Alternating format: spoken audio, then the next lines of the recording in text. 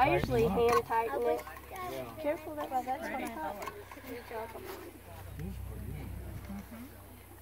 Um, I think it'll. I think it darkens a little bit as new it cools. You never get much credit back there.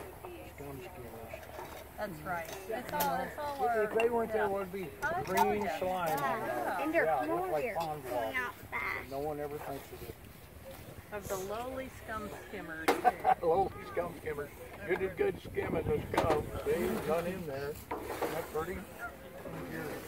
Looks like caramel. It does.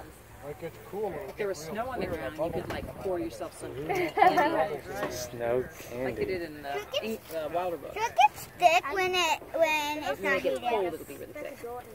Just there, maybe a little bit of ash got in there. Here, I'll open it up. That's good for you. Uh, I think it's pretty. Pretty hot.